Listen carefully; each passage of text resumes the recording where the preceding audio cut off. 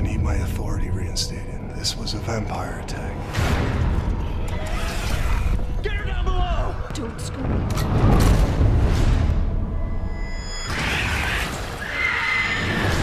The citizens have complete faith in the Church's ability to keep them safe. You will not shake that faith. What good is that faith when it's a lie? If you take any action to leave the cities, you will be stripped from the Order and excommunicated immediately. The war is long over. It's not over. Not for me.